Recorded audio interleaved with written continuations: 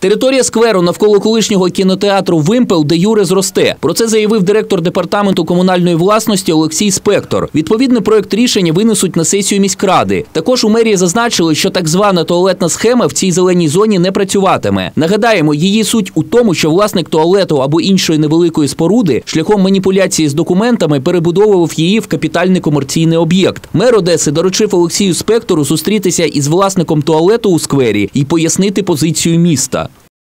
Встретитесь с собственником, пожалуйста, объекта э, туалета вот этого подземного и объясните еще раз доходчиво, что кроме туалета там ничего не будем, мы не будем согласовывать никакой объект. там.